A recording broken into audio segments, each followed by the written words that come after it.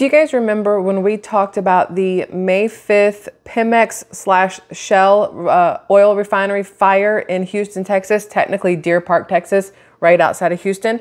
Uh, we talked about it and how the, the company Shell and Pemex both said there was no issues, nobody needed to really shelter in place, everything was under control, nobody was injured, so it wasn't that big of a deal. Well, let me give you a little update on that fire from May 5th. So, according to this, several res residents in Deer Park are seeking to file lawsuits following that May 5th Shell plant fire. What's interesting here it says here, after hearing a hiss and seeing people run, some workers at last week's Shell plant fire in Deer Park believe they're lucky to be alive. Investigators are still unsure what caused the massive fire at the Shell plant on May 5th. The company said gas oil ignited, sending a, a gigantic dark plume into the air. Today, I believe, is the 17th, maybe, possibly. It's been two weeks and they still don't know what caused that fire. I have an issue with that. You guys should as well. It says later, though, listen, remember when they said it wasn't a big deal? No place around it was um, in any fear of any contamination. Nothing got loose. It was just a little fire. Not to worry. And I told you, always worry because they're always going to be full of shit. There's always something you have to worry about when a refinery fire happens or anything happens at these places. Later, contaminated liquids went into the Houston Ship Channel. Since then, the, the company, county, state, and federal governments have monitored the air and water. But at the time, obviously, nothing to see here, people. Keep it moving. Just a small fire in our Pemex slash Shell refinery here in Deer Park, Texas. Not a big deal, just massive plume in the air, just a lot of smoke, a, a lot of fire, but no big deal. Don't even worry about it. For those of you who live really, really close, it's fine. Maybe stay indoors for a minute or two. Not a big deal. But now they're saying contaminated liquids went into the Houston ship channel. Officials said the community has never been at risk, mm. but Carolyn Castorino, who lives near the plant, says she hasn't felt right since then. She says she's had a sinus headache and that's not normal for her. She hasn't filed a lawsuit, but ABC 13 has learned that other neighbors are preparing to. You have Benny Agosto Jr., Abraham Watkins' managing partner, said he has about 30 clients preparing to file a lawsuit, three of whom have already filed. Agosto said three workers who were about a block from where the fire started suffered knee and back injuries. I'm guessing that's from running. I don't really know if that's really something you can file a lawsuit over because you had to run. I don't know how that one works. I'm not going to lie. As they started getting away, then there was the ignition. They didn't see the ignition, they just heard it, the whoosh and the boom, and of course, now they're running for their lives, Agosto explained. The attorney said they filed the lawsuit quickly to ask a judge to preserve evidence. The cause of the fire is still unknown and investigators are unable to gain access near the site. What? Okay. Investigators are unable to gain access near the site. That to me says a whole hell of a lot, just so we're all fully aware. On its website, the company being Shell, um, the Shell refinery Shell or Pemex, um, the company disclosed wildlife was impacted as an oiled turtle was found in a ditch. Okay. The company originally said the Wildlife Center of Texas responded. ABC 13 went to the center where employees tell us they were never called. So, according to Shell, they reached out to Wildlife Center of Texas about this um, oil covered turtle. And according to ABC 13, when they went to the Wildlife Center of Texas, Wildlife Center of Texas said, no, no, no, Shell is lying because that's what these main corporations do. Shell then updated its website saying it was Wildlife Response Services. My bad, my bad. We got the name wrong, but totally called somebody, right?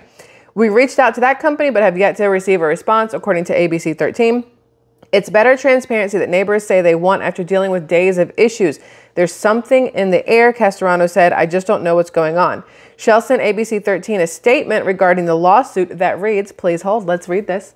We are aware that a lawsuit against Shell USA Inc. and Shell Chemical LP has been filed following the Shell Deer Park Chemicals facility fire on May 5th. A total of 15 contractors were taken to the hospital and released the same day after completing precautionary medical evaluations. Shell is committed to the safety and well being of everyone at our facilities and the surrounding communities. I hear ya. But in case you guys have forgotten, if you haven't seen that video, Shell is full of crap because the Shell petrochemical station in uh, Beaver County, Pennsylvania is currently like under investigation and being, um, are they the ones being sued by the EPA? Mm-hmm, I believe so, because they have uh, like blown past their allotment of allowed chemical contamination into the air in Beaver County and into the water and into the soil and things like that. They've just blown past it. Let's say they were allowed to have like a thousand whatevers. I don't know the, the measurements here. So a thousand whatevers of contamination basically released out, out of their um, refinery or whatnot uh, since November of 2022 when they opened up and went into into business. And as of last month, uh, April, that's like six months after they opened up, they'd already like tripled what they're allowed to do within an entire year. So so far, Shell is not doing very well in the scheme of things, literally anywhere. What's interesting is that um, on top of this happening at that Shell refinery in Deer Park, Texas on May 5th, that's the same time that we talked about that the FBI, Homeland Security, Department of Defense, and every other three letter thing you could possibly think of happened to all be in Houston doing like routine um, exercises and, and whatnots. They don't tell you what they're doing. They're going to tell you they're going to be there so that you're not fully scared shitless when you see literally everybody and their mama in camo running around with maybe guns. Maybe there's a tank. I don't even know what they did in Houston, but it happened to be at the same time. And that's just interesting. Now, what else is interesting? Not really interesting because somebody lost their life, but one worker dead after fire breaks out at a marathon refinery in Texas. Guess where this is? Houston. Seems like we're having a lot of refinery issues in Texas, but not even just Texas, like in that little, little spot, although Houston is not little, but in that little corner center circle of the Houston area. There's a whole lot happening at different refineries at the same time. Yes, it's been two weeks, but it's still a very short time frame to go from one oil uh, refinery um, oil refinery fire to another one. Now, according to this, at least one worker was killed. They have not released this worker's name yet. One worker was killed after a fire broke out at a Marathon petroleum oil refinery plant southeast of Houston on Monday. That was two days ago. The fire occurred at a unit um, at the oil company's Galveston Bay facility in Texas City, the Houston Chronicle reported. Emergency personnel responded to the fire at about 10:30 a.m. According to the newspaper, officials said the fire posed no threat to the community. Where have I heard this before? And residents did not have to shelter in place. Okay, what about the turtles? What about the ships? What about the guy who lost his life? Um, there's anyway, video from some station here showed flames and smoke coming from the unit as crews worked to contain the fire. It was unclear what caused the fire, as is always the case. Um, the television station reported the identity of the worker who was killed has not been released. It was unclear if other workers were injured. This is kind of a hard thing to see. We'll see if we can do it here. You can see right there, there's the fire happening right there. So what I want to say here is that we are deeply saddened to report that a Marathon employee has passed away as a result of the fire today at Marathon Petroleum's Galveston Bay refinery, the company said in a statement. We extend our deepest sympathies to our employee's family, friends, and coworkers, and our thoughts are with them as we all mourn his passing. The safety of our workers and the community is our top priority and a full investigation will be conducted to determine the cause of the incident. A full investigation by who? That's my question. If investigators, outside investigators, still can't get into the Pemex slash Shell refinery uh, in Deer Park from May 5th, two weeks later, if they still can't get in to figure out what started that fire, who's going to investigate this one?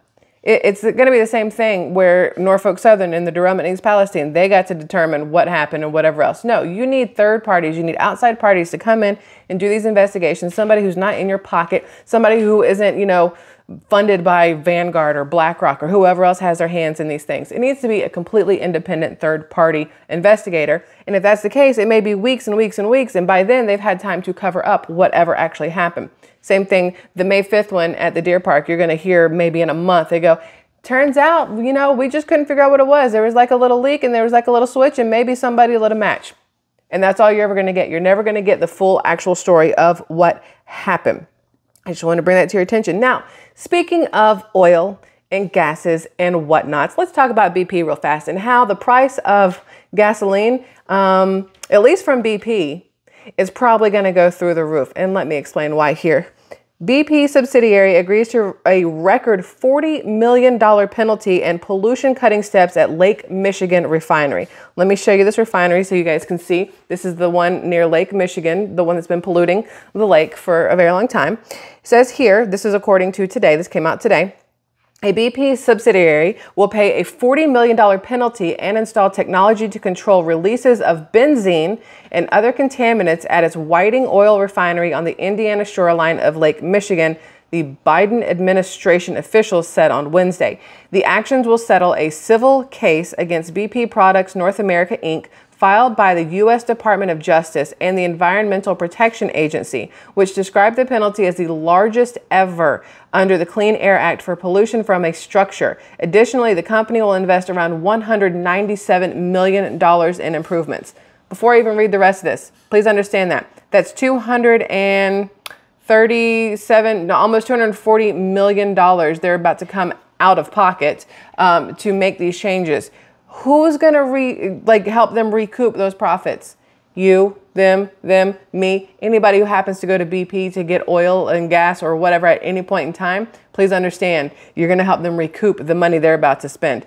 The settlement will result in the reduction of hundreds of tons of harmful air pollution a year, which means cleaner, healthier air for local communities, said Larry Starfield, the acting assistant administrator of EPA's Office of Enforcement and Compliance Assurance the 134 year old refinery, located between Hammond, Indiana, and Chicago, is the biggest in the U.S. Midwest and the sixth largest nationally. It processes about 440,000 barrels of crude oil daily, making a variety of liquid fuels and asphalt. Which is why the EPA didn't shut it down when it was, you know, releasing all these extra toxins into the air because profit over people. Yes, there are five other like large, large uh, refineries they could have gone to, but that would have hurt. Technically, that would have hurt the consumers in the long run if you have one of them go out of business or off the rails or whatever you want to call it and stop production we're going to feel it in our pockets. It's not them. We're going to feel it more than anybody. So they let them keep going, but they say, hey, listen, we're going to sue you though, my guy, because you're doing too much to the environment. You're doing too much to the people who live around the area. The people around there are getting sick. There's higher rates of cancer in this area. There's higher rates of asthma in this area. And we've determined it's because of your refinery and the crap you're shooting out the top and the crap you're letting into the water and the crap you're letting into the air and into the soil and whatnots. So you need to fix it. And BP said, mm, I hear you, but until you take me to court and you win and you make me, I'm not going to do it. Now that they've won, BP's like, no, we totally, we totally want to do this to help the people in the surrounding community. We definitely want to spend $240 million for something we could have fixed numerous years ago because this building is 134 years old. But because you're making us, now we totally want to do it. It says here, it has a record of pollution rule violations, reaching settlements in 2019 and 2022 over releases of sooty particulate matter linked to asthma and other respiratory diseases. A new federal complaint accused the BP unit of breaking rules limiting benzene and refinery wastewater streams and emissions of hazardous and volatile air contaminants. This all just sounds amazing, doesn't it? Under the agreement, the company will add benzene stripping equipment and take other steps intended to reduce annually reductions of cancer causing benzene, along with hundreds of tons of other pollutants. BP will also set up 10 stations to monitor air quality outside the refinery property. The control measures will greatly improve air quality and reduce health impacts on the overburdened communities that surround the facility, said Todd Kim, Assistant Attorney General in the Department of Justice, Environment, and Natural Resources Division. The settlement requires court approval after a public comment period. With this new agreement, we are committing to additional robust steps, including significant capital investments to monitor and mitigate wastewater emissions at Whiting Refinery, BP spokesperson Christina Audisho said in a statement. The improvements will be made over the next several years. Listen, unless they put a timeline in place, they're going to drag ass on the entire thing because the slower they go, the slower they have to spend the money, the longer they can hold on to their profits until who knows what. At some point, maybe the EPA changes their mind. Maybe they go, you know what? No, we can totally allow extra contaminants. It's not a big deal. All the people have either moved out or died because of all the current contaminant, contaminants. So the area is fine. We're not worried about the air and the water near you anymore. So just go ahead and willy nilly release it. Save your money. Hold on to your profits because shareholders, we don't want to upset them, right? So there's that.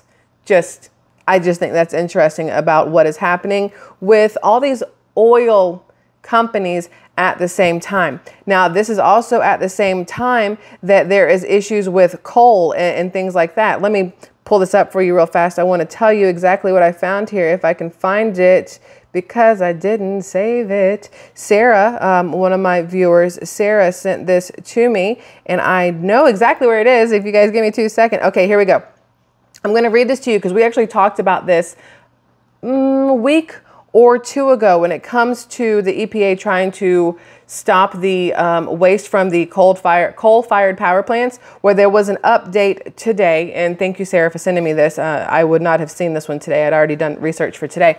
It says here the Environmental Protection Agency EPA is strengthening a rule aimed at controlling and cleaning up toxic waste from coal fired power plants. A proposal announced Wednesday would require safe management of so-called coal ash dumped in areas that currently are unregulated at the federal level which also you guys need to hear means that the federal regulations are going to have a longer reach now. They're going to go farther out, which is good for your health, but where does that stop? Where does the federal reach stop? Once it's in your backyard, once it's in your house, your front yard, just something to think about because when you say yes, please reach farther here to help protect our safety, you know, from the air and the water and the things that are being released, it gives the that gate it's like that gateway if you will to then pushing a little bit farther. Well how about we just uh, we we put a little federal uh, level regulation right over here and just like a little snippet of federal regulation right over here. And then before you know it there's so much federal regulation going on that you can't even inhale or exhale without them telling you you're allowed to because of how much carbon dioxide or methane you may fart out or and carbon dioxide you may breathe out or however this works. I'm just saying Take, give them, give them, what is the phrase? Give them an inch, they'll take a mile. Mm, we have to be very careful here. It says EPA Administrator Michael Regan. I'm so tired of that man's name. Y'all even understand. I had to say it so many times for East Palestine, Ohio, and I'm not a fan of Michael Regan based off everything we've had to talk about regarding Michael Regan. So, EPA Administrator Michael Regan said the plan would hold polluters accountable for controlling and cleaning up coal ash, a byproduct of burning coal, in that it can pollute waterways, groundwater, drinking water, and the air. Coal ash contains contaminants such as mercury, chromium, and arsenic associated with cancer and other health problems. What's interesting is a lot of those things are added in on purpose to municipal water. Like it's already in there i think. Not maybe not on purpose but there's a lot of that in municipal water. If you look up any filters whether it's brita pure um, um, can't think of any other name right now berkey there's others clean clean something there's so many more it'll tell you that it removes it removes mercury it removes lead it's got chromium it'll help with arsenic fluoride although fluoride being the hardest one to find a filter that actually removes it. I'm like, you can tell me you can remove lead and mercury, but that fluoride that they're that they're purposely putting in your water is the hard one for you to figure out how to take out, which I think still is a real reason that so many people drink bottled water because it does not have the fluoride in it. So maybe they don't want you to have the ability to filter out because the bottle companies want the money. Everybody's in bed with everybody. Please understand that. Every single company, these big big players in all these games, they have a little something that they do to help each other. They're not fighting each other. They're all working together so that everybody gets some of the pie and we we get maybe a crumb and then we get screwed over for the rest of it. But anyway, back to what we're talking about here. It says here, dun, dun, dun, uh, ensuring the health and safety of all people is the EPA's top priority. okay. And this proposed rule represents a crucial step towards safeguarding the air, groundwater, streams, and drinking water that communities depend on.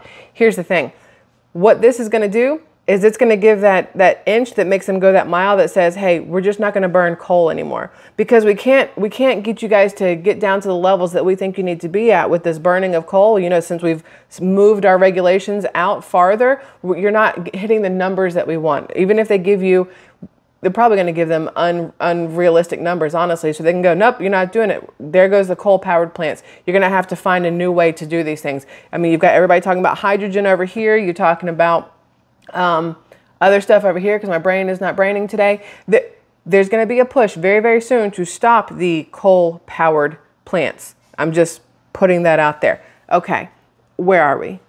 I mean, they want to take the old coal mines. Remember, we talked about this. They want to take the old abandoned coal mines and instead of turning them back into working coal mines or trying to do more or start new coal mines, what they want to turn those into are areas where they can put solar power and wind turbines and whatever else. I'm still keeping an eye on that with Mike DeWine and East Palestine, Ohio, and those abandoned coal mines. Don't think I forgot about this, y'all. The the thing's supposed to be in August, and I'm I'm counting down. I'm keeping an eye on it. Uh, let's see here. Da da da da da. Where are we? If finalized, the rule would help protect underserved and minority communities already overburdened by pollution, reflecting the Biden administration's commitment to environmental justice, uh, Regan said. Many of these communities have been disproportionately impacted by pollution for far too long, he said, noting that power plants, chemical plants, and other large industrial sites are commonly located in poor and minority neighborhoods. The proposed rule follows an EPA proposal last week, the one we talked about, to impose new limits on greenhouse gas emissions from coal and gas fired plants. Um, the Biden administration's most ambitious effort to roll back planet warming pollution from the power sector, the nation's second largest contributor to climate change. Because according to them, the first contributor to um, climate change are the farts and the poo that comes out of the cows, just so we're all fully aware. The agency has also proposed rules to crack down on polluted wastewater from coal burning power plants and limit emissions of mercury and other harmful pollutants from coal fired power plants, updating standards imposed more than a decade ago. The coal ash rule follows a legal settlement between the agency and public interest groups, including the National Association for Advancement of Colored People, NAACP, Sierra Club, and Clean Water Action. The group said in a lawsuit that a 2015 EPA rule on coal ash failed to regulate a large portion of coal ash pollution in the United States. I mean, we do know that coal ash is a is a very deadly um, thing over time. I mean, all the coal miners who ended up with some sort of lung cancer, some sort of breathing disabilities, uh, breathing disability, is that how that works? Anyway, my brain. Um, from working in the coal mines themselves, there was a lot of people who got severely sick from that. So you have to assume that the coal power plants emitting all the ash, the soot, if you will, into the air that's then being breathed in by all the people who live around it, they're going to have the same negative health effects, not as quickly and not as severely as the ones who work in the places and, and were in the coal mines, I'm sure, but it's still an issue. It's still a factor, okay? And the downside is the the the land and the the houses around these places are so cheap. I don't even want to say so cheap they are cheaper than in, in areas that don't have these plants. And so for people who are dependent or are relying on a lower income, that is their their choice. It's either that or I don't know what the other choices are. And so a lot of times people are forced to live in these areas around the uh, around these plants knowing the health benefits that or health not benefits the lack of health benefits. And it's kind of like a double-edged sword. Either you you have some place to live so that you and your family have a roof over your head and whatever else but then you're next to these things that can make you and your family sick at the same time. Because affording something outside of the danger zone isn't in your budget at this time. And so you're working, you try to get to the outside of the danger zone, but it's hard. I mean, it's hard for people everywhere right now to try to get a leg up, to try to move a step up the ladder. You know what I mean? Anyway, um, Earth Justice, an environmental group that represented the coalition that sued the EPA, called the new proposal a major win for communities near coal fired power plants. The revised rule extends federal coal ash regulations to most coal ash disposed at power plants and extends federal monitoring, closure, and cleanup requirements to hundreds of older landfills and dump sites that previously were excluded, the group said. This is a really big deal, said Lisa Evans, senior counsel for Earth Justice. The Biden administration is standing up for people near hazardous coal waste sites around the country. For far too long, a large portion of toxic coal ash around the U.S. was left leaching into drinking water supplies without any requirements that it be cleaned up. Let me really quickly just say I hear what this person is saying. The Biden administration is standing up for the people near hazardous coal waste sites. Technically, yes. But I don't personally think that's why the Biden administration is doing what they're doing. They're doing what they're doing so they can tick that off or uh, mark that off their box. Say, hey, we tried this. That way, in you know another year or two, if even that long, or uh, there's another term for Biden um, in another four years, uh, they can come back and go, ah, didn't do good enough. Cut, cut the coal power plants. We're done right? But you have to do the first step before you can do the last step. You can't just jump. You can't just jump willy nilly from no repercussions to closing it all down. You got to give them a repercussion. You got to give them a new a, a new line they have to toe, And when they can't toe that line because you've either made it impossible with the numbers or you've given it too short of a time frame or it costs way too much money for them to be able to do it, then they can come in and go, well, you know, we tried to help you. I mean, we really did. We wanted to help the people, we wanted to help the companies, but ah, unfortunately, you just couldn't do it. So we're just going to have to take you out and we're moving over to our green, our Clean Air Act, our green energy, our whatever else. So it looks good from the outside that the Biden administration is doing this but there's always there's always something behind it. You know what I mean? It's nothing is ever really done out of the good of their hearts or whatever you want to call it. So, the EPA proposal closes a loophole that allowed many power plants to avoid cleaning up the toxic mess they created. Power plants will finally lose their hall pass to leave coal ash wherever they dumped it. Based on analysis of industry data provided to the EPA, Earthjustice identified 566 landfills and ponds at 242 coal plants in 40 states that were excluded from the 2015 federal regulations. The power industry has complained about an onslaught of EPA rules aimed at the power sector. The agency's actions are designed specifically to cause the premature closure of coal power plants. Told ya, said Michelle Bloodworth, president and CEO of America's Power. Look, Michelle's think alike, uh, a lobbying group for industries involved in producing electricity from coal. She urged EPA to modify its proposals to avoid premature coal retirements rather than speed up retirements and jeopardize grid reliability. Mm-hmm. Coal ash storage and disposal goes back decades, but went largely unregulated until a 2008 spill at a Tennessee Valley Authority power plant in Kingston, Tennessee. A containment um, dike burst and flooding covered more than 300 acres, dumped waste into two nearby rivers, destroyed homes, and brought national attention to the issue. In 2014, an estimated 39,000 tons of coal ash spewed into the Dan River after a drainage pipe running below a waste dump collapsed at a Duke Energy plant in Eden, North Carolina. The toxic sludge turned the river gray for more than 70 miles.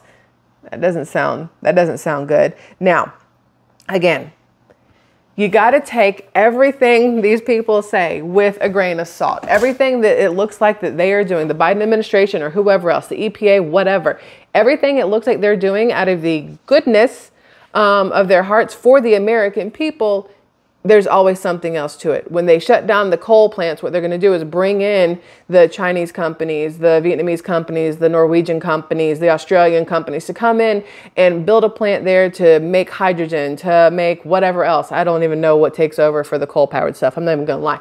They'll find something. They'll put some wind turbines there, some solar power. They'll throw some pipelines in there. Something is going to happen.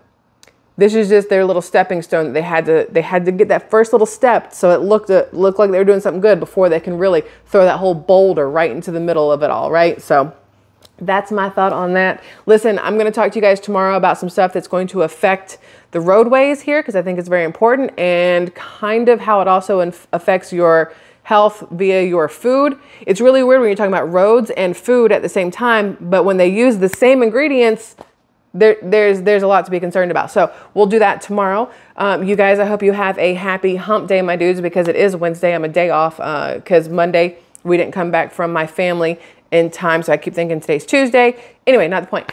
I love you all. have a happy rest of your Wednesday, my Squirrel Tribe dudes and dudettes, and I will see you tomorrow. Bye.